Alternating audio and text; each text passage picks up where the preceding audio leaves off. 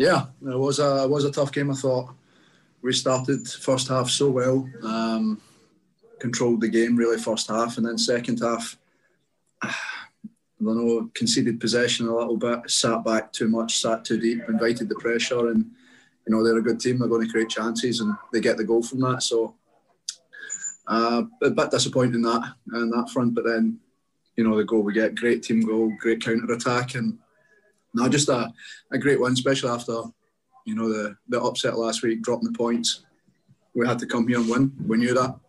Uh, we had belief that you know we've came here and done it this season. Um, so massive win, uh, but it means nothing if we don't continue into Wednesday. Uh, get the three points there. Um, so you know it's it's a it's a big win, but you know it's just another three points and a step to the, the ultimate you know goal, and that's that's finishing top of this this conference.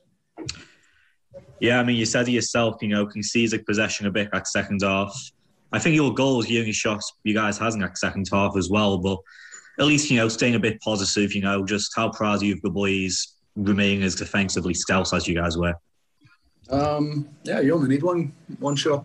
Um, so we had to tweak our game plan a little bit. Um, just for the, the threat that they've got. I thought first half we, we really nullified that. Second half we, we allowed them too many chances. But you know we've shown time and time again this year how mentally strong we are, how resolute we are.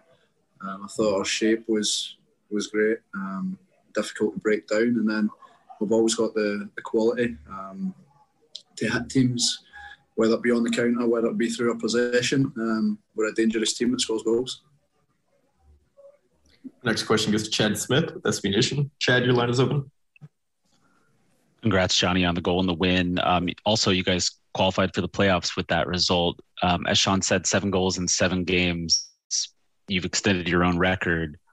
Does it mean that much more when it's a game-winning goal versus just you know another goal?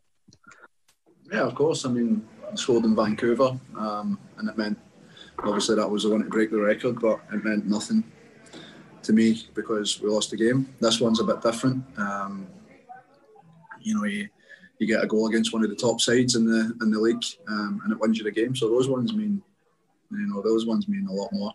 Um, you know, I spoke to Preki before the game as well. Um, he was just congratulating me, um, saying that you know records are there to be broken. So you know that was a nice nice touch from him. Everyone knows how well thought of and how much a legend he is here. Um, so that was nice and you know, I've got a pretty good record against Seattle. Um, don't know what it is. I always seem to, to pop up with a goal against them. So, no, it's, you know, in, in games like that, when it's, you know, sort of top of the table, um, you know, games are decided in those moments. And, you know, I'm just happy that it could have been could have been me and I put it away to help the team now.